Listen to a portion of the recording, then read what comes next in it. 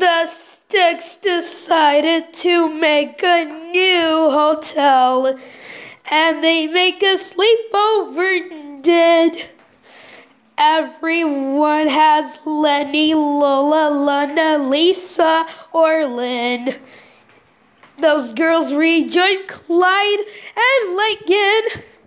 When you see there's a family making a sleepover. Let's get digging. We find everywhere. What we find is Holly and Joey. Welcome, Stickman, purple, green, and yellow. Oh, rejoin us today. And don't forget, be careful. Let's go with the Loud Sisters and Holly and Joey. Holly and Joey are the hosts, and they are here